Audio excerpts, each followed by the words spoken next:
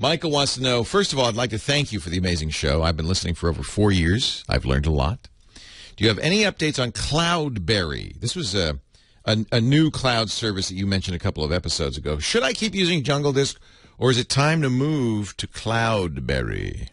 So my feeling is that if jung- if you're a Jungle Disk user and it works for you, then why not keep using it? Um, CloudBerry has additional advantages. My vetting of the security came out as full TNO, so it passes all of the trust no one tests. They have they are encrypting things absolutely correctly. I mean, maybe a little overkill, but that's as we know in security, that's a good thing.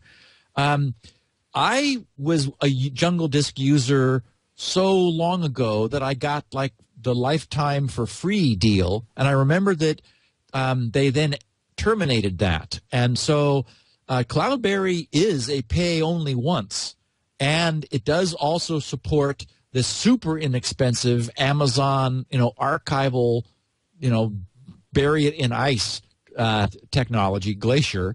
Um, so uh, I could see a switch making sense and like leaving Jungle Disk behind if Jungle Disk is them are themselves charging you periodically for the privilege.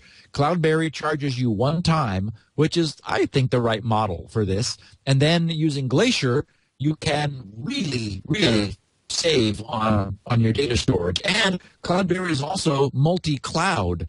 Uh, Glacier is only one of a huge number of cloud services that it supports. So um, I, I haven't yet switched myself over, but I'm I'm going to do that just for what it's worth. I, I, think it's the right solution. So yes, Michael, um, it probably does make sense. CloudBerry, I love the name.